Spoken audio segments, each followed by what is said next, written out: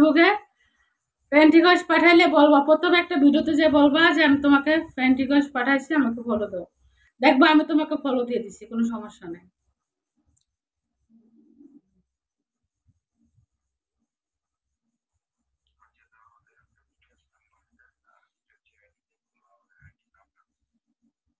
ভাই, আমি আপনারে দোকানের নাম্বার দেই।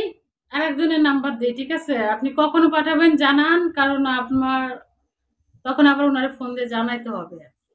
এখন দিলে এখনই জানাইতে হবে ফোন দিয়ে, আর যখন দিবেন তখন। তার আবার আমার নাম জানি না।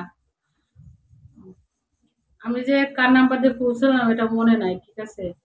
ওই জন্য দোকানে চাইলে দেবো। আপনি বলেন এখন যদি দেন, এখন তাহলে না, আমার নাম্বারে দেবো।